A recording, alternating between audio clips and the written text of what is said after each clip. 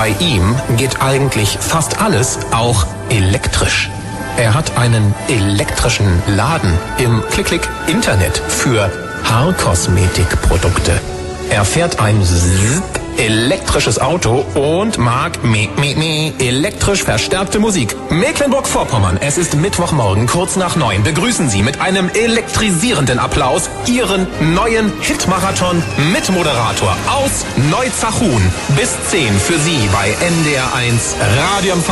Hier ist Matthias Fenner. Schön, dass Sie da sind, Herr Fenner. Ja, hallo, schönen guten Morgen. Und Sie sind echt mit dem Elektroauto hier? Ja, klar, hier einmal bis hier rüber gerauscht, ja. Strom aufgeladen und Jawohl. los. So, dann haben wir erstmal zu arbeiten, denn im Hitmarathon sind wir schon bei der nächsten Platzierung. Ja, das ist der Platz